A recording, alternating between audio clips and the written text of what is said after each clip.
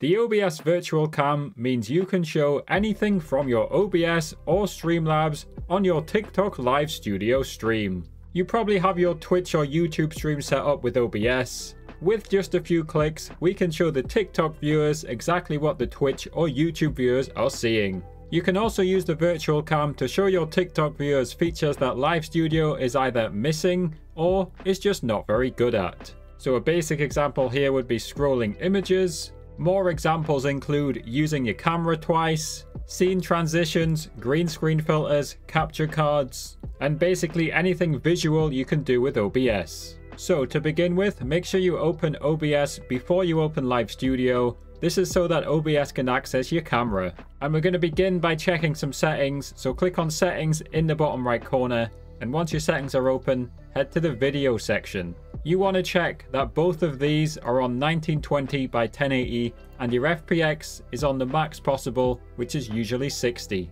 Just click OK to save the settings. Now before we start the virtual cam, let's check the settings on it. So just click the little settings cog in the bottom right next to the virtual cam button and you want your settings to look like this. Output type internal, output selection, program output default. So now just press OK and then click start virtual camera. Now it's time to open up Live Studio. And once you've got it open, you want to go on the left and add a new source. And the source is a camera source. Now you just find the correct camera from the list. I've got a lot of cameras here, but the one I want is the OBS virtual camera. We now need to change a few settings. The FPS is on 30 by default, but we want it on 60. So you can select either of these 60 FPS options and then press add source. Now it's usually a bit bugged like this. It should be 1920 by 1080, but it's not quite yet. So just click on it and then we click this button here, which stretches it to the screen. So now it is 1920 by 1080. So it's that simple. Live Studio and OBS should be looking identical, but let's put them side by side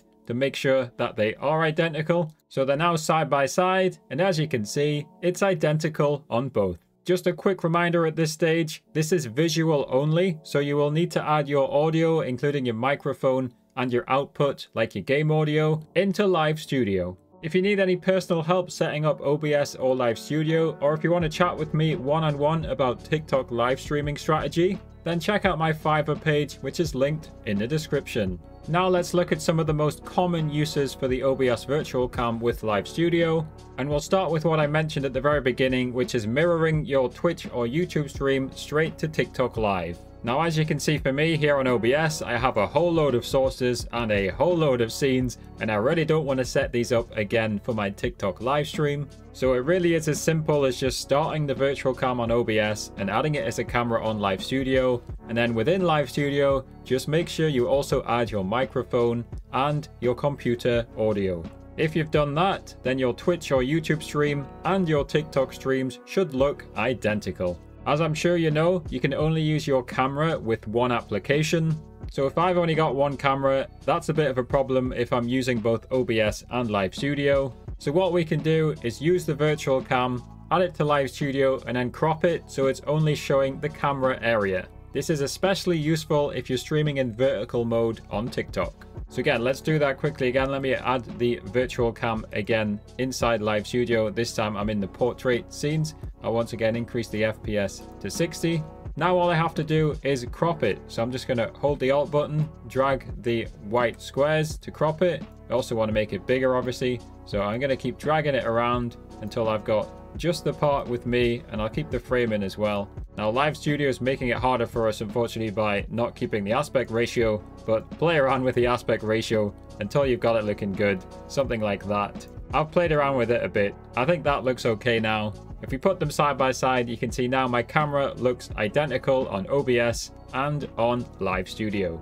OBS has way more filters than Live Studio does, for example, Live Studio has no filter to scroll an image. So if you wanted to do that, you'd have to inside OBS add an image source, find where your image file is saved, select the image file and press OK, and then right click the sources, select filters and find the scroll filter. Once you've pressed OK, you just add whatever horizontal or vertical speed you want, press close, and now you have a scrolling image in OBS and more importantly, a scrolling image in Live Studio. It does actually probably need some cropping. So to get rid of the black area, I'm just going to hold Alt and drag. Obviously, I've only got one source, so I still have a black area. But if I had my display capture behind this, you would now be seeing part of the display, and obviously I can resize it as well. This is the graphic which I have on my TikTok live stream. Many people report issues with capture cards in Live Studio, so you can fix this on OBS by adding your capture card as a video capture device.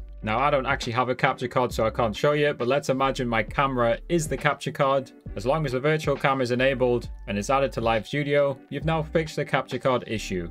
It is worth noting though that this won't fix any issues with audio and capture cards. Unfortunately, I'm not an expert on that, but hopefully you can find a way to get the capture card audio into Live Studio. And those are just some of the most common uses you can use with OBS Virtual Cam and Live Studio. But as with most things with content creation, your imagination is the limit. You can check out my latest tips on setting up Live Studio here. Subscribe if you found this useful. Thanks to the channel members for their support, and thanks for watching.